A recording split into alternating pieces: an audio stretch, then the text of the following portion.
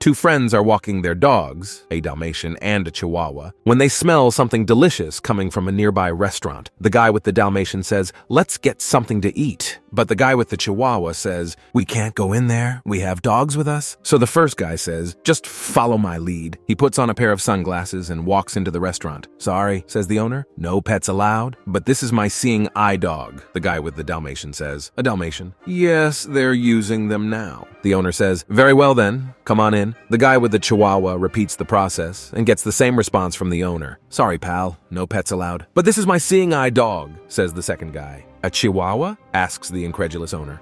A chihuahua? says the man in the dark glasses. They gave me a fucking chihuahua?